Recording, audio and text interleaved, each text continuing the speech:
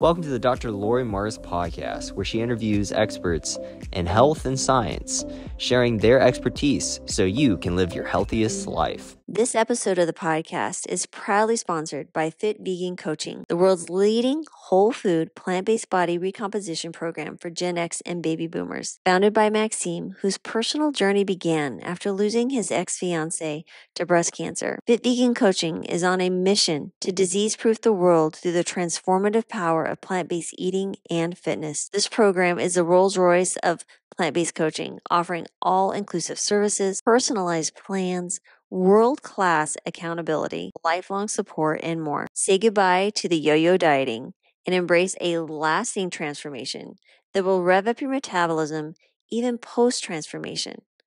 Ready to take charge of your health and vitality? Head over to fitvegan.ca. That's fitvegan.ca and mention Dr. Laurie for exclusive bonus savings when you sign up. Don't miss this opportunity to join the movement towards a healthier, fitter, and more vibrant you. Are you tired of compromising between convenience and healthy eating? Look no further. Introducing Whole Harvest, your ultimate solution for wholesome plant based meals. Whole Harvest is redefining the way you eat. Their meals are not only delicious, but also 100% whole food, plant based without any compromise. Whole Harvest takes pride in their approach. There's no oils, no added sugars, and low sodium.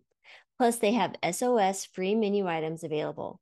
I recommend Whole Harvest to my patients. They need convenient and compliant meals that can be delivered to their home.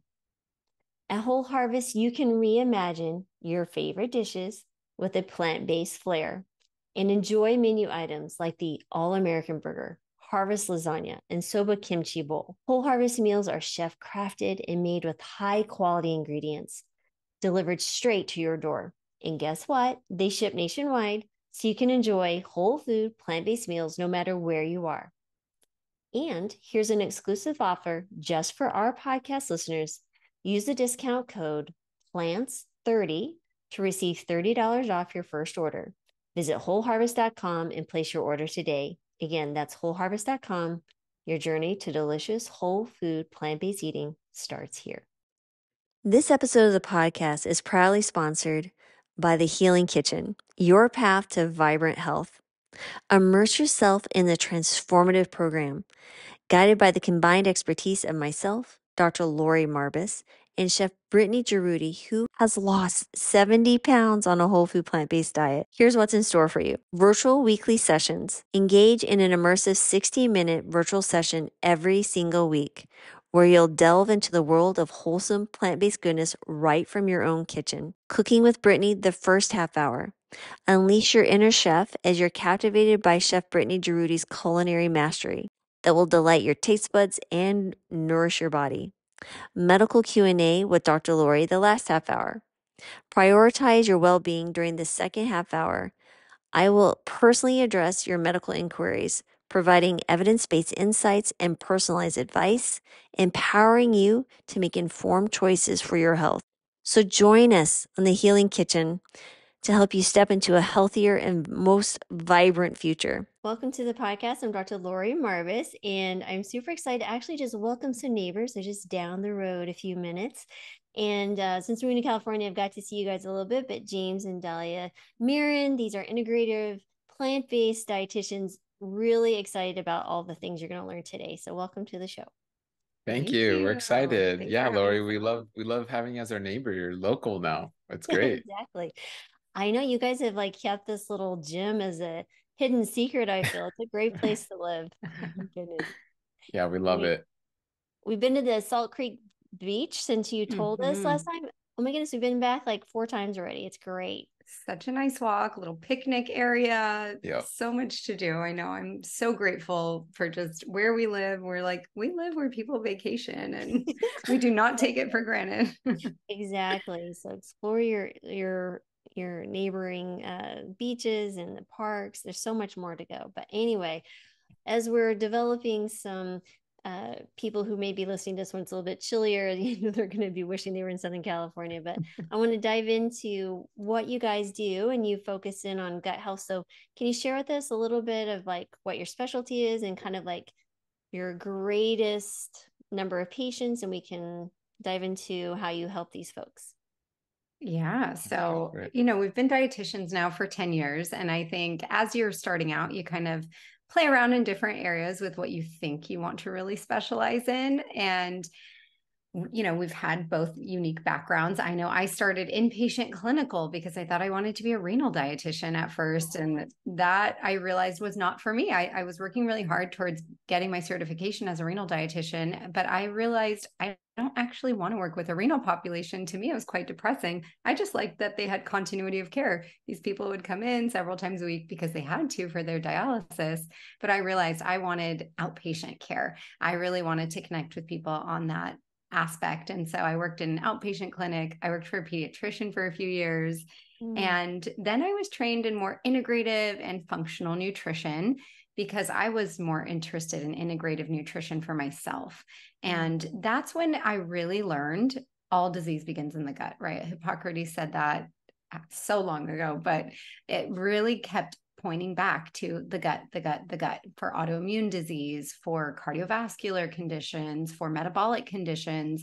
If the gut wasn't right, none of that would be optimally functioning. And so that just landed me into this niche of supporting people with all things gut health, but really with a particular interest in irritable bowel syndrome and a subset of irritable bowel syndrome called small intestinal bacterial overgrowth or microbial overgrowth or fungal overgrowth uh, really just deep dysbiosis that unfortunately we're seeing more and more and more, especially in our newest generations, but also, you know, those of us born in the 70s, 80s, 90s, we were the antibiotic kids. And so we're really starting to see a lot of us, unfortunately, have gut imbalance as a result of that. So that has just been my passion for the past six, seven years. And working with this population has been such a passion project of mine and then to add to that really quickly then creating an environment an ecosystem where people can come mm-hmm. and work mm-hmm. with dietitians who truly understand the integrative nature. Because i think really any health professional who's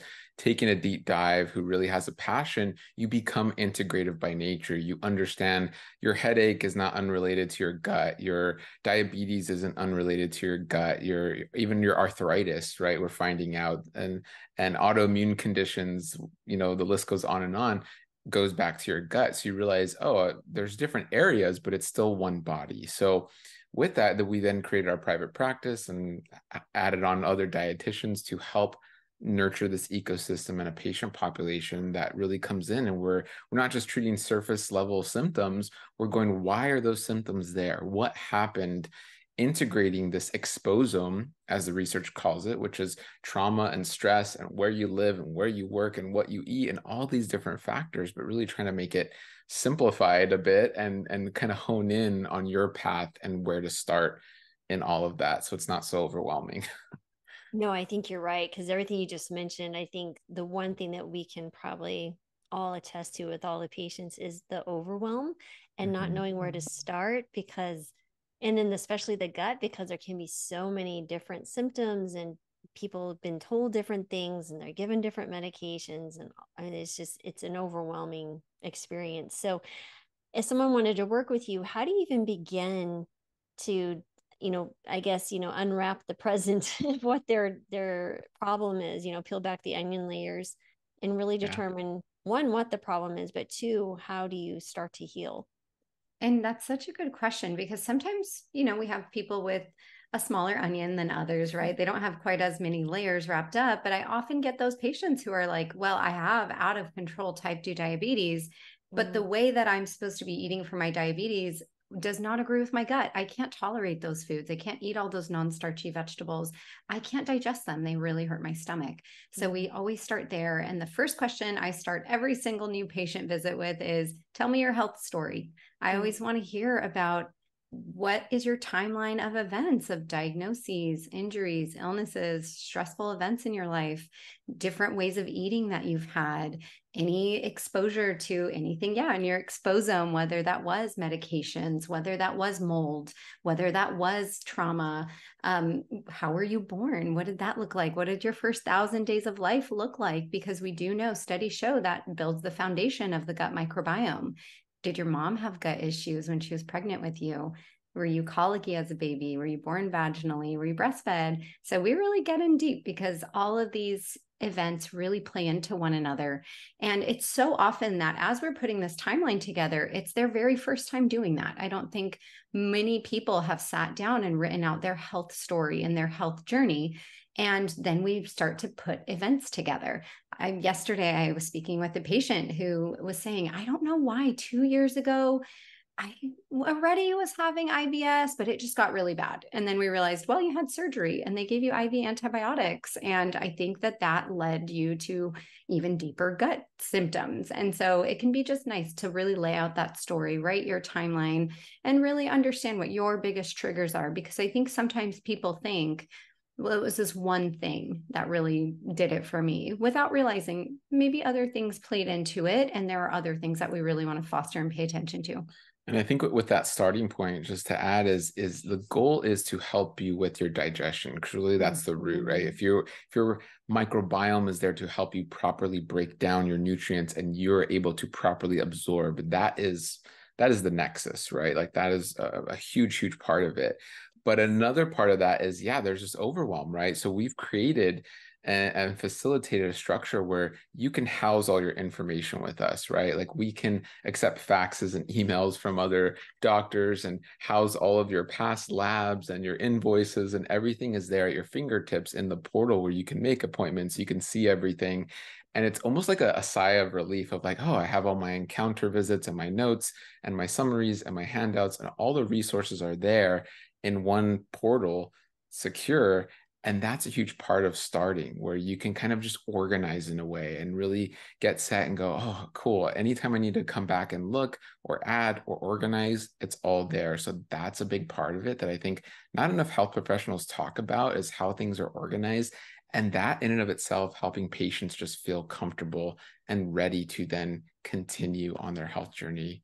But yeah. Mm-hmm. no like exactly right it's funny because you'll I have patients who will say the same thing. Well, can you log into this for me? And I have this, or I was like, no, actually, I need you to go gather that and bring it to. Yeah, I have a portal as well and the EHR and really focus in yeah. on the more pertinent things. So then, let's say you're getting this timeline and you're starting to see uh, some problems and some connections. How do you determine it's IBS or SIBO or whatever? Like, how do you get down to the granular diagnosis and what are those? Are there tests or what do you mm-hmm. recommend? Yeah. I think that we're seeing IBS so prevalent prevalent in our society because it really is just a a um, culmination of different symptoms, and we do know about 10 to 15% of the US population has IBS because it really just means more than a few times in a month's period you've had abdominal pain, change in bowel habits. Um, and so many of us experience that, right? I think that's the number one reason why people go see a gastroenterologist. GI issues are one of the number one reasons people go to the hospital. They're one of the number one reasons people see their PCP. Um, so it's kind of just this random different collection of symptoms that anyone can u- usually say yes to for the most part. Um, but I think what people don't realize is yes, you could have your gut that feels a little irritable, if you will, a couple days a month where you might have some pain. You might have a change in bowel movements, whether that's diarrhea, constipation, alternating diarrhea and constipation. And then your primary provider or your gastroenterologist would then diagnose you with something like IBS. And we always like to identify why do you have these symptoms? I think now we're starting to really acknowledge okay, studies show 14 to 70, 70% of IBS can actually be SIBO, as some studies have revealed. And so, do you have an overabundance of microbes in a place they don't belong? Do you have imbalance of anti inflammatory gut bugs and inflammatory gut bugs? That's called dysbiosis when things are out of balance. Are you not in that eubiosis, that balance? Is it your gut barrier where maybe you have some intestinal hyperpermeability? Or is it your motility? Do you have nerve dysfunction? Eh, are your pelvic floor muscles functioning as they should? Do you have any strictures or adhesions or any other type of tissue that is affecting the way that those muscles in and around your GI tract are moving? That's always so important to identify. Okay, do you have IBS, which is the overarching umbrella? Underneath that umbrella of IBS, do you have SIBO or some other type of bacterial, microbial, fungal overgrowth? And how can we identify why you got there? Because I think it's always nice when people can name something. They can say, I have IBS, I have SIBO. I always want to know why. Why do you have that? What facet of your gut needs a little bit of love and a little bit of extra attention? So that way we can really pour into that. And my goal is always to have people say, I used to have IBS. I mm. used to have SIBO because I don't believe it needs to be a lifelong diagnosis unless it is something that is a little bit more perpetual. Um, but I feel like for so many people, they accept that and they just accommodate their lives around this diagnosis. Oh, I'm not going to eat all those foods. I'm going to avoid all those different types of vegetables. I'm not going to eat those fruits. I'm not going to go out with people. I have so many patients tell me I don't go out at night because by nighttime, my clothes don't fit me well. And I feel really uncomfortable going out with people like that. So they're living their lives around this diagnosis and don't always have the right help to really, like you mentioned, peel back those layers of the onion and try to identify what worked for you, what didn't work for you. I have so many patients who come to me and they say, I tried the low FODMAP diet, which stands for fermentable, basically fermentable carbohydrates, um, different types of fibers and sugars like oligosaccharides, disaccharides, monosaccharides, polyols. Um, but they'll try it because that's the number one diet that's recommended for IBS or even for SIBO. And they'll say, but it didn't work for me. I tried it two different times, three different times. I used the apps it didn't work for me. And again, just like with IBS really being predominantly SIBO a lot of the times, with low FODMAP, studies do show it works for 50 to 80% of patients who try it. But what about the other 20 to 50% of people? Or do we just kind of throw our hands up at them? Um, or do we try to help them identify, okay, maybe it didn't work for you because actually you have a different type of microbiome. You have an overabundance of these sulfur reducing bacteria in your gut. And it doesn't matter really if you eat FODMAPs, the sulfur is what's really bothering you. So let's try to help you balance that. Maybe you have fungal overgrowth, or maybe you have very permeable gut barrier, a very leaky gut, and you now have histamine intolerance. Maybe that's why low FODMAP didn't really work for you because your other symptoms were a little bit more overarching than some fermentation going on. So I always think it's so, so, so important to, like you said, peel back those layers of the onion, not settle for I don't know, your bowels are irritable go on with your life and accommodate this diagnosis. I think there's so much power that we have. And and I think to just give an analogy because that that could be a lot, especially for the average person. And a quick analogy is just like a factory. You're you're making something in the factory, and I think it's like a you're you're making a car, and you may just think i'm going to go buy a car and we all kind of take it for granted i know i do like i'm going to go drive in my car but not knowing the battery and the hybrid motor and all the doors and knobs and nuts and screws. So that is food, right? You're like, I'm going to eat food. But really getting into the nitty gritty of there's histamines in your food and there's viruses and there's fungi and we have parasites naturally commensal parasites i know parasites that could be a whole nother talk in and of itself but you know there's all these elements in our food that we don't really think about but we do start to think about it when we have this dysbiosis and going back to the factory, it would be like a third of your workers or a fourth of your workers, or for some people, it's most of their workers, aka these microbes, have kind of taken a sick day. So now you're trying, you're in this factory and you're trying to build the car, but you have, you know, a, a tenth of your workers there and they're just barely hanging on and the cars coming out are just not working right and they're barely coming off the the line and customers aren't happy and that's a great analogy for the gut where you're trying to digest this food, but maybe you're seeing whole food in your stool. You're getting all these symptoms from eczema all the way to, you know, to severe gas SIBO, bloating, gas and bloating. And I mean, the list can go on and on hives and postnasal drip. And we've had patients who are bedridden and really can't function properly. And it's because you are not building these nutrients as well as breaking down and absorbing nutrients. But part of the microbiome is to help make postbiotics, which are beneficial nu- nutrients that then get used throughout the body, aka that car, that product, and you're not able to produce that. So really, this is a story of our our society right now, at least from the USDA data, 97% of Americans are not intaking that fiber. Mm-hmm. And let alone what this translates to is really a postbiotic deficiency, mm-hmm. aka a, a, short chain fatty acid deficiency. You are not using that fiber from these this beautiful array of plants to feed your microbes so they can give you these products and gifts.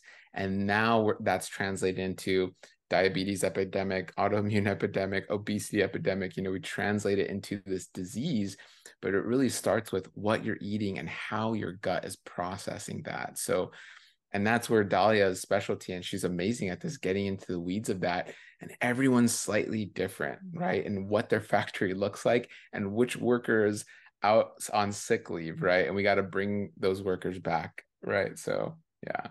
Yeah, so that I think that's a great segue into okay, now we understand kind of what onion we're dealing with and the severity of it or how big it is. How do you go about diagnosing? Like, what tools do you utilize mm-hmm. to get to give you the data to know where even where to start with treatment? So, one of my favorite ways to have patients understand if they do have SIBO in particular is a breath test. So, they can perform either an in office at their gastroenterologist office or an at home breath test. And it, these tests are two to three hours. And they're basically spending that time blowing air into these bags. And then the lab is going to measure how much hydrogen, methane, or hydrogen sulfide gas is being produced by these different microbes they all live in us, right? We have these hydrogen, methane, and hydrogen sulfide producers living in us, but they should only be making a certain amount of gas. If the amount of gas is in excess of that, then we can assume, okay, you might have an overabundance, an overgrowth of some of these different things. I think with fungal overgrowth, it can be a little bit more difficult to diagnose. Your best bet is to get an amazing uh, gastroenterologist who can perform a small bowel aspirate, where they take a small sample of fluid from the small intestine and then they culture that for yeast. It's very rare to find a person who offers that. And so there are certain urine metabolite tests that can test for activity of yeast. Um, so some one that I sometimes will look at is something called D-arabinitol, which is a postbiotic, a byproduct of yeast fermentation. So if somebody has a really high overabundance of D-arabinitol production, they have yeast symptoms like oral thrush, vaginal yeast infections, athlete's foot, really severe dandruff, um, and some of the other telltale yeast symptoms, then that is when you can have them confirm with their care team that they do, in fact, have this fungal overgrowth. So, lots of different options available. But I would say at home breath testing is really nice and reliable. And now, actually, I've been recommending more frequently a cool little device that recently came out. We're not affiliated with them, but I just recommend it. It's called a FoodMarble. And hmm. patients can utilize this little device that fits into their pocket or purse to measure their hydrogen and methane levels after every single meal because these breath tests are nice, but they're expensive, right? Nobody wants to spend two to four hundred dollars every time they need to get tested. But this little device, if you know you have hydrogen or methane overgrowth, that can be helpful for you to test three times a day, four times a day if you wanted to. And that can give you an idea of where do I stand? What is what I'm working on with my dietitian, my gastroenterologist, my care team? Is it working? And are my levels reducing? Are they going up? Are there certain foods that really trigger an increased level of gas? So there are different options out there for you know different people's access to different healthcare providers and their different needs mm.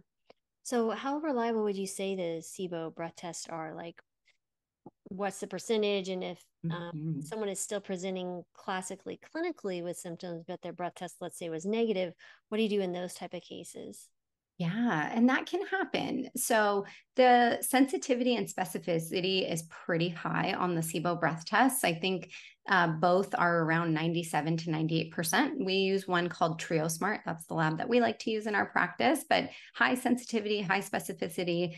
Um, this lab was actually founded by one of the top SIBO researchers in the world, Dr. Pimentel, Mark Pimentel. Um, and so they day in and day out do different SIBO research. And so their that SIBO breath test is highly accurate, but there's always room for user error, right? Because the patient themselves needs to prepare in a specific way.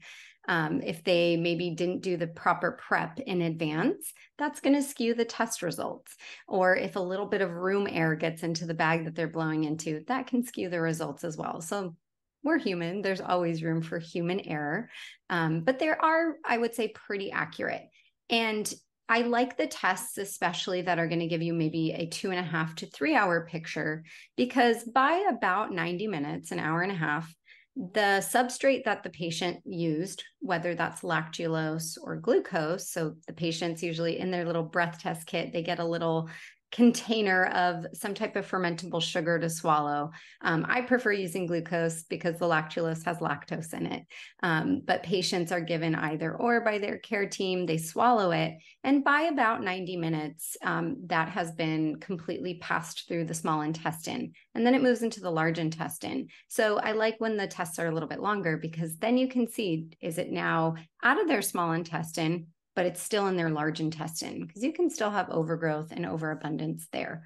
Um, and I want to say, looking at the totality of symptoms as well, like yeah. a breath test is a piece of the puzzle, but we're looking, and this is where Dahlia and our other dietitian Rachel are, are really looking at that health story, looking at the mm-hmm. symptoms, looking at at that trend in the past medical history, as well as the breath test and even other tests. Yeah. So we'll ask patients right. every visit, I'm going to show you the Bristol stool chart. Point out your stool type recently. Right. Are, are your stools falling apart? Are they sticky like peanut butter when you wipe?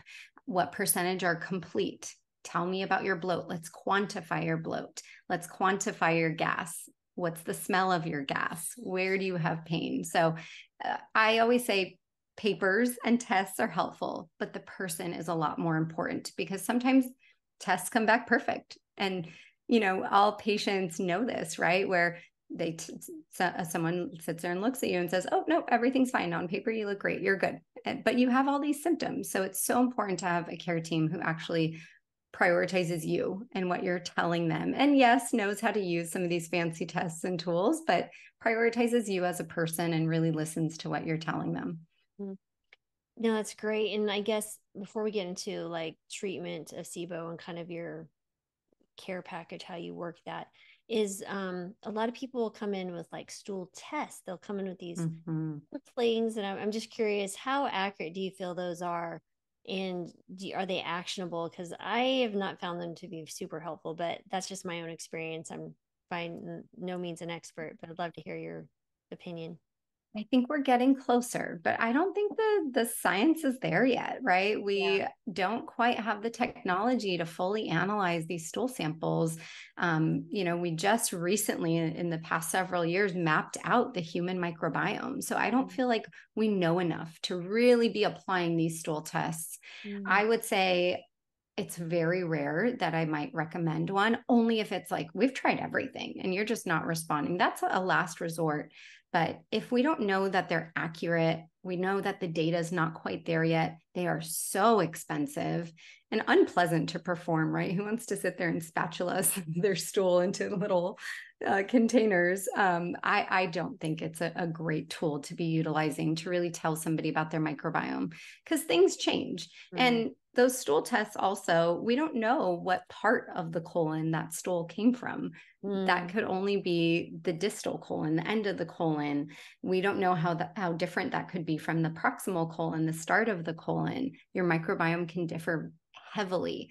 You don't know how much that meal you ate the day before could influence that or your stress level. So I would say I agree with you where patients often bring them to me and so i've learned to kind of interpret them over the years but it's an extreme rarity where i'm the one who would recommend a stool test like that yeah. and keep in mind and we're, and we're really speaking on small intestinal bacterial overgrowth the, again these stool tests are not measuring what's mm-hmm. really happening in the small intestine right like Dahlia mentioned it's in the colon yeah. and really i liken it to the ocean like we have this idea of the ocean but we really don't know the ocean right it's like it's like yeah it's kind of explored but most of it's not right? And so it's like we overall get it. We can surf and bodyboard and we can go on a boat and there's people that dive and all but have you really explored the ocean? The answer is no. And i feel like that's kind of that's kind of the microbiome where mm-hmm. we're, we're barely understanding the virome which viruses outnumber bacteria. And we thought bacteria were like I mean, we're talking about trillions. So with viruses, we're talking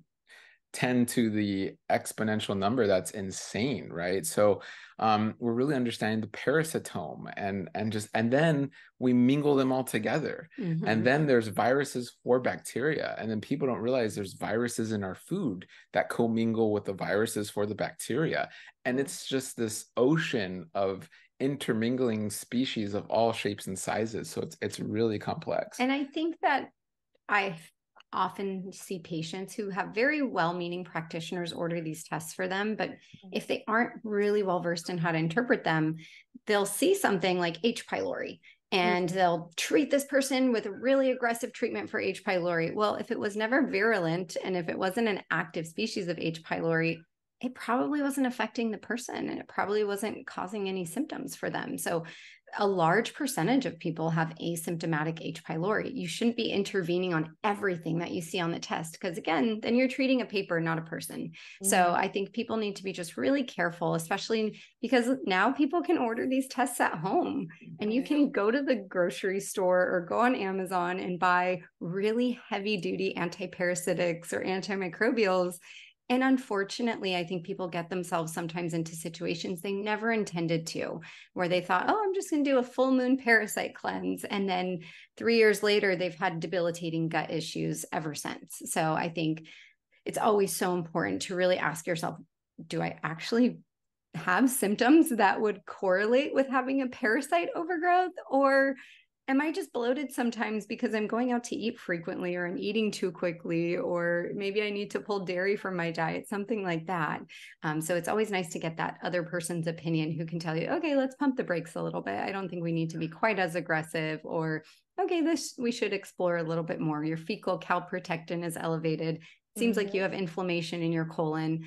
Let's verify that that that's still going on. And if you need to let's go get a colonoscopy or something to really verify this and and then intervene if appropriate. And we want to be very vocal and we want to share this as much as possible of, of really helping people to not continue to blame the food blame mm. the microbe. It is it is the totality of the environment right? And so we're, we're so quick to blame the broccoli and blame the beans and blame the grains. And then even from our microbiome standpoint we're so quick to it's the parasites. Oh candida's evil. Oh h. pylori is bad. And it's like these guys are here to help you. It's mm. more so what's the context of your environment? Because I, I, you know, I don't think there's many rat fans, right, who loves rats and oh, I want a pet rat and they're so cute and cuddly. No, but they're necessary for our environment. Just mm. because you don't like them doesn't mean we should kill all the rats. Mm. But when you put it in a bad environment, if you're inviting them into your home and you have food everywhere and you're getting lots of rats, that's not ideal either but that doesn't mean we should kill all the rats right so it's it's very much that ecosystem analogy of going just because there's rats or there's hyenas or there's spiders or whatever animal you dislike, that doesn't mean we should get rid of them all. It's what is the context? What is the environment that is making this animal, this opportunist, just kind of the population explode and then where are you inviting them are the are there tons of spiders in your home yeah that's not good let's let's put them back outside right let's put them where they need to be and find that that rebalance what we call in the gut it's eubiosis mm. well, so many of us are in this dysbiosis mm. and instead of understanding the context and the environment we're going oh we're in dysbiosis let's kill all of them because they're they're bad this food's bad the microbes are bad it's like no why are you in dysbiosis that is the key mm. Mm. No, that makes a lot of sense. So let's go to the dysbiosis of SIBO. What is a typical treatment protocol, or what do you decide how to treat it? Mm-hmm. So, once you've really determined that you do have an overabundance, then we always like to assess okay, what are your symptoms telling us? Who do we need to try to yeah maybe shoo outside a little bit? And then who do we need to nurture and feed so that way they naturally keep those other ones in check? Mm-hmm. with yeast overgrowth a lot of the times what we find is yeast are opportunists so they will overgrow. A lot of the times it comes about when there's not enough of that healthy acidic bacteria like lactic acid bacteria and other types of acidic bacteria to just keep them in check yeast are not bad inherently. They're a natural part of our flora. But did it happen that you took several you had to take several courses of oral antibiotics time after time you were very stressed and maybe because you were very stressed maybe you weren't cooking as frequently at home and you were going out to eat highly processed highly refined foods a lot and those yeast took advantage of that opportunity and then they became overabundant. If that's the case let's maybe gently encourage them to decrease a little bit and i don't like to use extreme measures. So even with a yeast overgrowth a lot of my patients will say, Oh, do I have to do a candida diet? Because I worked with another practitioner and they told me I couldn't eat any grains, I couldn't eat mm. any fruit, I couldn't eat any carbs because it was all going to feed the yeast. Mm. I've never seen that to work because even if you do starve out the yeast, you will starve out those great healthy species that are going to then keep the yeast down. So you're just going to perpetually be in this cycle. So I always say maybe let's just not add more fuel to the fire. Maybe let's not eat nutritional yeast for a little bit and maybe let's avoid bread with yeast in it. And maybe let's decrease mushrooms a little bit for a, a, little period of time. If we need to use a couple little gentle antifungal um, modalities, then great. If that's a prescription antifungal, like a diflucan or fluconazole, ask your care team for that. If that's something herbal that we can utilize, let's try that. And then let's make sure that we're eating probiotic foods so that way we get those lactic acid bacteria back. Let's get those bifidobacteria back so the yeast don't just come back and find, oh, the situation's right for me again. They're not paying attention. Let me move back in. So whether that is for yeast overgrowth, bacterial overgrowth, it is, you know, trying to gently bring it down, but also bring up other microbes that are going to help keep them in check with prebiotics in food, prebiotic fiber in food. Sometimes we'll recommend prebiotic powders like psyllium husk fiber, or maybe it's partially hydrolyzed guar gum from guar beans. Um, and then we intend to understand do we need to give you something for motility after that, like ginger or another pro motility agent, artichoke extract, or something else that supports serotonin production in the gut? And then did these overabundance of microbes cause any barrier issues? Do we need to maybe incorporate more protein into your diet or more protein or amino acids in another way? And do we need to add more of these mucusy foods like okra and aloe and cactus so we can rebuild the walls and then redecorate them with a nice thick layer of mucus once the home is a little bit more in alignment without all these opportunists kind of overrunning the home. So it's figuring out who is at the root, it's balancing them out as necessary, and then really nurturing and repairing the environment so it can continue to be this healthy, happy microbiome that's in great balance. And so we really call this really the gut microbiome is your inner ecosystem. We say it's the most important ecosystem on this planet and it's it's your ecosystem. Each one of you have a unique ecosystem inside of you and really Dahlia and our other dietitian Rachel, who really this is their specialty of, of kind of complex GI disorders, IBS and SIBO, they're kind of like they're kind of like gut ecologists in a way, right? Where they're going, they're going, what species out of whack? Who introduced this, you know, snake into this environment? You know, let's kind of capture, relocate. Let's see what damage they've done. Let's repair that damage, and then let's replenish, right? And that's mm-hmm. essentially what's going on in the gut and and it's doing that with nutrition first and foremost as and then other modalities and resources just to kind of be that gut ecologist.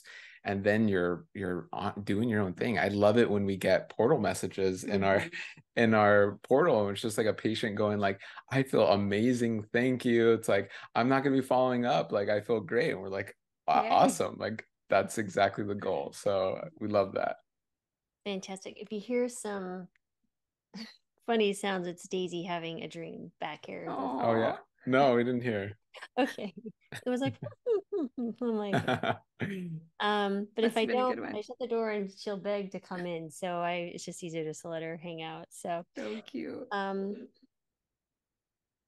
you hear that? Oh, I heard that time, yeah. That there you go. oh, Daisy. It's okay, puppy. Um, so typically, so you're treating the SIBO and you get them, you start understanding and I really wanted to point out when you were mentioning the the room and then you start redecorating with some yeah. mucus. I just like saw like paintings mucus. with mucus and curtains. wow. Okay, that's Gotta get whole, it. I love that um illustration. So with that, what is a typical length of uh, treatment? Is mm-hmm. there an mm-hmm. average, you know, someone needed to be thinking about? Is this weeks, months, years? What are we looking at? Yeah, that's a great question. So, usually what we do is first we try to rebalance. So if that's antibiotics or something prescription strength, that's usually a little bit shorter, probably a couple weeks. If it's an over the counter herbal antimicrobial, it could be 4 to 6 weeks. And we do that part first. And then we do the diet inter- intervention following that. We don't have people do the diet at the same time that we're trying to rebalance the gut because if we don't give them their preferred food, then they're not as out and about as they could be for us to really capture them with treatment. So after that, we then will recommend a reverse elimination where then we're saying, okay, let's do low FODMAP, low sulfur, low histamine. Sometimes it's a combo of those things and really get you to tolerate larger and larger amounts of fiber and fermentable carbohydrates throughout that time over maybe the span of four weeks if somebody doesn't have really significant symptoms, or maybe it's three months if somebody has more significant symptoms. So we really encourage everyone to really examine how are you feeling going into this how slowly do we need to take it did you come to us and say i can only eat five different plants right now because my gut is in such disarray. That person's going to take a little bit longer because maybe we're reintroducing half a teaspoon or tablespoon of food at a time until they've really built up their repertoire of different types of foods. But if that somebody else comes to me and they're like, "Yeah, I'm a little bloated and kind of constipated, but I pretty much eat a wide variety. It doesn't stop me from doing that. I don't have pain after meals. That'll be a lot shorter for that person. Um, so I think it can vary, but I would say anywhere from probably six weeks to maybe uh, upwards of 12 to 16 weeks if somebody really needs it. Mm, okay. And so I'm curious, do you ever use probiotics like capsule form? Um, or do you have a prefer- preferable brand or what do you, when do you recommend those? I, we are so unique and all of us have such unique needs with those helpful microbes. And so I like to use a resource, usprobioticchart.org, and it helps you really identify okay if it's if they're constipated if they have methane overgrowth if they have hydrogen overgrowth what exact species and strain of probiotic is going to be most helpful and mm. so there is it's hard to really create a blanket there's a couple different ones that i like and if somebody has more gut disarray like inflammatory bowel disease or hydrogen sulfide SIBO, and they just have such a high abundance of inflammatory gut bugs, I'm going to give them a really high amount of helpful gut bugs to try to balance that out. But if somebody has maybe methane IMO, I'm going to be really careful about what strains of probiotic I'm recommending. And maybe it's just 5 billion colony forming units of Lactobacillus reuteri. Um, maybe it's nothing at all because maybe adding more lactic acid bacteria will make someone feel worse and give them relapse. I usually, though, will give a blanket recommendation to people of let's make sure you're eating probiotics. So, Stanford came out with a really great study a few years ago that showed that those who were eating the most probiotic foods per day, they estimated about four to six servings a day, had the most diverse gut microbiome they had richness in their diversity. So there was not only a, a, wide diversity of types of gut bugs, but there was a lot of them. And they had a stronger immune system because 70 plus percent of our immune cells are in our gut and something called our gut associated lymphoid tissue. So I give that recommendation hey, let's try to get you to eat four to six servings of probiotics a day after we've balanced things out and eat things like tempeh that's not cook to death and miso and drink some kombucha that doesn't have any added sugar. And maybe let's get you some non-dairy yogurt or let's get you water kefir or another type of fermented probiotic food. Let's get you some veggies that will that were pickled in brine. And let's make sure you're getting in both that seed of the probiotic in kind of your gut garden and mm-hmm. the food that's going to nourish the seed as a prebiotic with it. So that way when you're really taking care of those seeds very well, then they're going to give you that nice gift like a flower or a fruit that's called a postbiotic that James was mentioning earlier. So it's absolutely, I'm a big fan of probiotic foods, mm-hmm. especially for those who don't eat dairy. I think mm-hmm. that that's what I see a lot of the times in the plant based community as well. They say, I felt amazing the first year, year and a half when I cut out dairy. And then my gut started feeling off. And oftentimes I'll ask, yes, dairy can, you know, be irritating to the gut. It might make some of your symptoms worse. And it's a, a source of probiotics. So, did you replace those probiotic bacteria when you cut out dairy? Most people really we were just starting to talk about eating probiotics so most people say no and once we get them eating more probiotics they start to feel like oh i'm i'm having great bowel movements again i'm less bloated i'm having less of that joint pain and fatigue and whatever gut symptoms that i had so and and also getting in the garden getting mm-hmm. into nature right mm-hmm. breathing what what many great doctors and researchers have called breathing your biome where we are we are getting exposed to a microbiome from the environment which is making up a large majority of our inner ecosystem through touching soil. This is where a lot of the research coming out in biofield energy and grounding and being in nature, nature mm-hmm. baths. It's not it's not just the energy. Yes, the energy is great and there's lots of great research coming out, but it's the micro it's the microbes, right? With every inhale, we're we're inhaling at least 10 fungal spores. So, you know, we're inhaling we're inhaling viruses and fungal spores and bacteria and those are getting into our mouth and we're touching our skin and it may seem like ugh to some people but it's amazing when you're in the correct environment when you're going for a hike when you're in the ocean surfing or swimming and you're getting that exposure that is also extremely powerful right? When you have a beautiful backyard garden and you're digging with your bare hands and planting native plants and species you're getting that exposure as well. And i think this is where we're seeing the kind of the rise in raw milk where a lot of in people on social media like drink raw milk drink raw milk. What you're saying is take in more microbes which are in raw milk and and there's risk there and you're kind of outsourcing going hey cow give me your microbes versus we should be really going moms try to breastfeed please and and get that raw milk from your actual human mother and get those microbes from so many other great sources. We don't necessarily have to like just kind of default to like raw milk. We have to have raw milk. It's like there's so many other great sources to get those microbes from. So mm-hmm. yeah a lot of connection there yeah which is great and you know pets are another great source mm-hmm. of diversity um yeah so question that i get a lot is you know they switch to a whole food plant-based diet they're increasing the fiber dramatically instant increase in gas and some other unpleasant things um, what do you suggest for that like is there a food preparation? Um, do you cut back on certain foods for a certain period of time? Um, any products that you'd use for that? Like, what do you do, and what typically is a timeline to, for someone to say, "Hey, I've been doing this for so long, it's not mm-hmm. getting better. Maybe there's something else going on." So, how do you address that? I think it's so important to ask what's the severity of it? Is it mild discomfort? Or are you doubled over in pain with gas that's stuck? What amount of fiber were you consuming prior to you going whole food plant based? Did you go from having that typical, you know, were you the 97% of Americans who weren't reaching that 20, 28 to 35 grams of fiber per day? And now you're eating 100 grams a day. Hmm. That is a rapid change for your gut bugs. They hmm. are, again, now having this expedited um, factory. factory, and they're not prepared for it. So, hmm. slowly I would say you can increase their workload by maybe increasing five grams of fiber a week. That's like another one type of plant a week. Um, and use your resources that you have.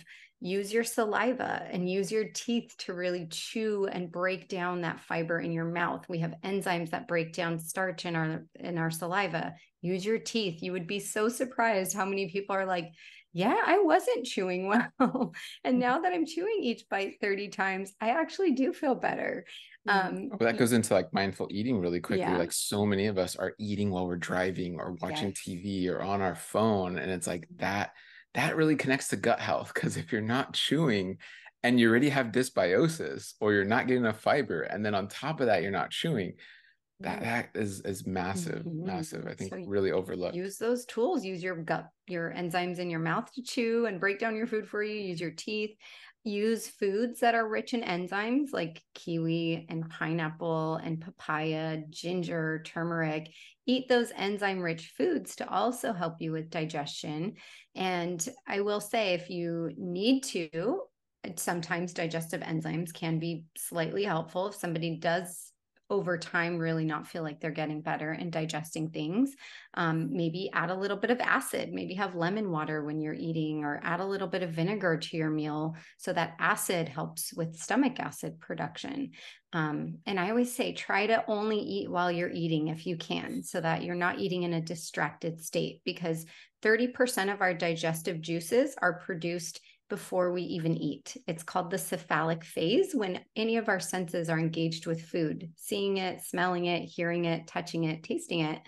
That is going to help produce 30% more stomach acid and bile to break down the food. So try to really engage with your food in that way where you're not going from working to immediately eating that, you know, DoorDash that got delivered to you and you you know maybe missed out on that phase that you could have utilized um, and if you're doing those things and you're slowly adding, you're breaking down and you're still in pain, that maybe is a sign that your gut's telling you, hey, this this workforce is just needing a little bit of help and attention. And that's really when i would say if it doesn't get better in a couple months 2 to 3 months then that's a sign that maybe you need some help and then when you see your dietitian realize, oh yeah, I've had my gallbladder removed or my appendix mm. removed, or I've had XYZ issues for 10, 20, 30 years.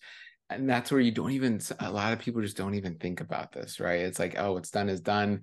There's no way that in the past is affecting me now. And we kind of just bring it back to your health story and going like, no, your gallbladder being gone does have a, a, massive effect. It's not like all hope is gone, but it's more of a reason to put more focus and attention into understanding your symptoms currently, into understanding your nutrition lifestyle, because you're missing kind of a key player there. The gallbladder is the key player.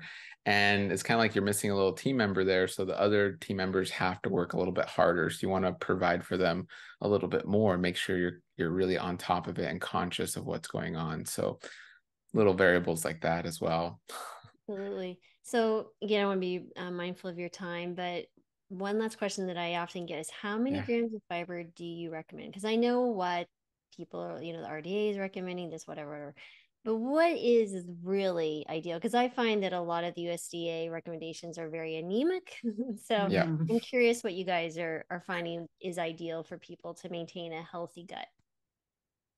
I've, I mean, I'll quickly say, I mean, we love overall the 80 20 of like 80% really great plant foods and 20% animal foods for someone like an like an average person to shoot towards and really what that goes towards is uh almost like a doubling of of the current recommendations mm. for the average person but then we love like we've been 100% plant-based for 13 years mm-hmm. and there's some days we track and i know i get closer to almost triple the recommendations and it's like and then that that works for me but i've been doing this a while so mm-hmm. i don't know if you i mean but those those are goals right so again it's it's where are you as the mm-hmm. individual and then working your way towards that but i would say a kind of a doubling at least of the current recommendations is an easy kind of standard and goal for the, for most people to shoot for and then their timeline will differ for how long it takes them to get there because yeah i think seasoned you know plant-based vets like the three of us we could easily mm-hmm. eat 75 to 100 grams of fiber a day because mm-hmm. that's what our diet consists of and it has and we've trained our guts in that way but somebody who's maybe a newbie and they're coming off of a standard american diet maybe the RDA is a huge goal for them where they're yeah. like, oh my gosh, 28 grams a day, I'm a female, or 30, 35 grams a day as a male. That is a lot for me because right now I'm eating six. Um, mm-hmm. so it's just going at their pace, but absolutely, I, I would tend to agree if we're really recommending trying to get about half of at least lunch and dinner coming from fiber or more or uh, non starchy vegetables and fruits, um, that will be around probably 50 plus grams per day. Uh, mm. it's just going at your pace to try to get there. And, you know, we love to say heal with each meal. And mm. that is our tagline at Married to Health. That's what we encourage every single person to do. We believe that you can heal with each meal. And we also like to recommend to feel with each meal. So you can heal with each meal. So it's really assessing what got me here what's going to get me to that goal what is my goal and then who's going to be my helper along the way i need a great primary care doctor let me reach out to dr marbas i'm looking for a gut health dietitian i need this other person to be part of my guide to get myself there to this goal that i have Well, I think that's all great. So, what a great way to end a wonderful conversation is heal with each meal and feel mm. with each meal. So, I think that's fantastic. I do know I will be sending people your way. I certainly have a little, a few already thinking that might be super helpful to engage with you. Um, yeah, because I, I think it's nice. It's like you're a specialist, right? And so we each have our place and and uh I always learn by having conversations and I really want to thank you guys for sharing your knowledge and wisdom with us today. This was fantastic. Thank yeah, you. love it. Thank you for this. Yeah. And we're so grateful to get to collaborate and refer patients to one another. It makes it so, so, so helpful when their primary provider is just in the know and on board. Excellent. So, where can people, we'll put the links, but where can people find you if they're listening only? Yeah, marriedtohealth.com. And uh, you can find us at Married to Health on all social media platforms Instagram, uh, YouTube.